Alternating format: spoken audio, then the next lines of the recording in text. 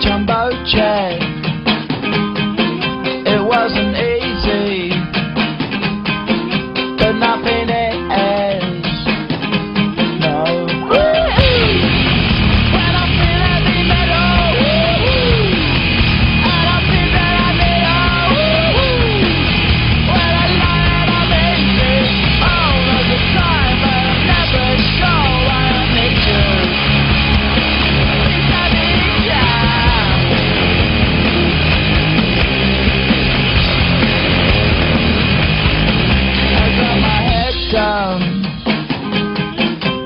when I was young.